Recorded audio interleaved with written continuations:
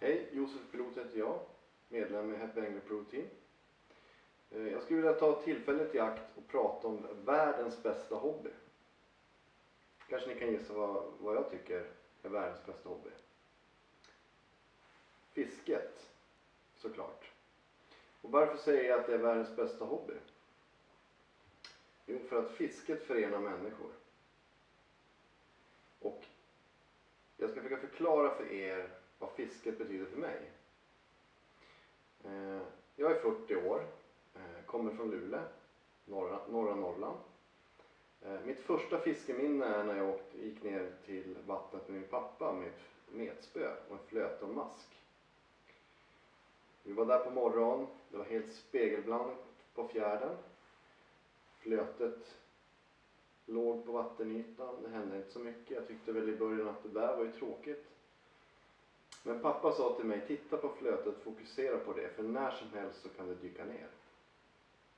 Och efter någon minut när jag stod och stirrade på det där flötet, det hände ingenting, det var så tråkigt. Så, pop, drog det ner under vattenytan.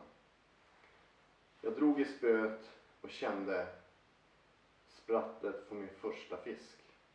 Efter den dagen så har jag fastnat för fiske.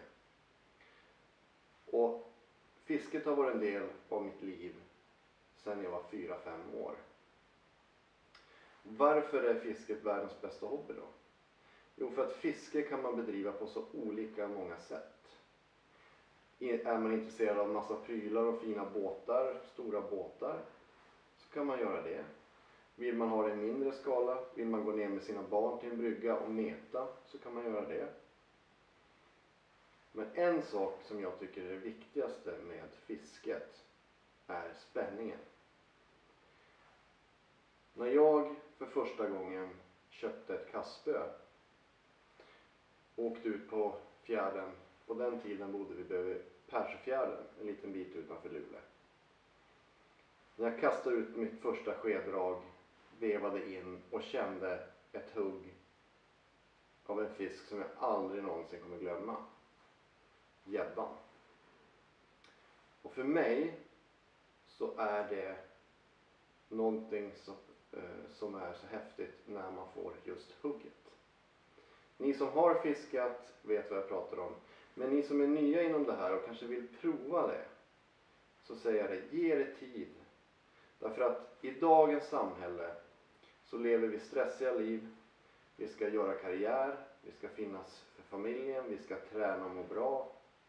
Vi behöver balans i livet, vi behöver en ventil där vi hittar vårt lugn, där vi kan ladda batterierna.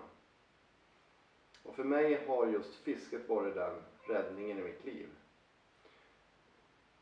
Jag har jobbat en hel vecka, det är lördag morgon. Jag och min bror, eller min sambo, åker ut med båten. Lämnar allt bakom sig. Man är där, man tänker just på det man gör för stunden. Eh, en annan viktig aspekt i det här också är att du kan hålla på med fisket tills du är gammal och skruttig. Vilket man inte kanske kan göra i fysiska hobbys som till exempel innebandy, badminton och så vidare. Så det jag skulle vilja att ni gör, ni som aldrig har fiskat. Nästa gång ni får chansen att fiska, ta den då.